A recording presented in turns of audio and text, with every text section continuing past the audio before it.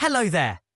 In this video, I'm thrilled to guide you through the process of turning off automatic relisting on eBay, a crucial step for sellers looking to manage their listings more effectively.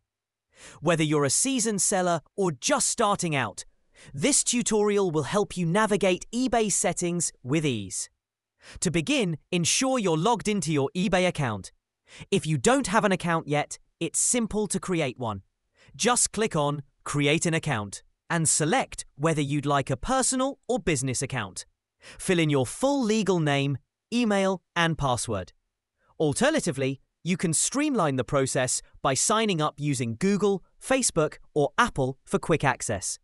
Once you're logged in, head to the top right corner of the page. Depending on the interface you're using, either My eBay or Seller Hub, the steps will slightly vary, but the core process remains the same. If you're using My eBay, click on Summary. For Seller Hub, select Selling. Now, let's say you have a particular product listed that you don't want automatically relisted because it could incur additional fees.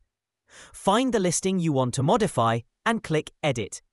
For those using Seller Hub, navigate to the section labeled Pricing on your listing page.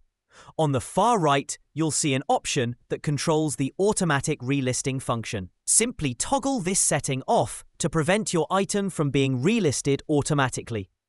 If you're scheduling your listings, remember, they will go live immediately unless you specify a different start time and date.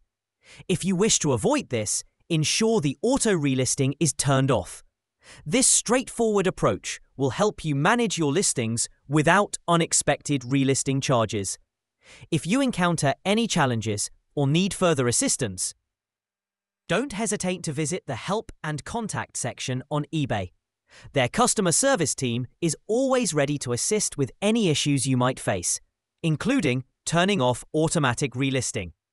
Thank you so much for watching, and I hope you found this guide helpful. Don't forget to like, subscribe, and stay tuned for more helpful eBay tips in our upcoming videos. See you next time.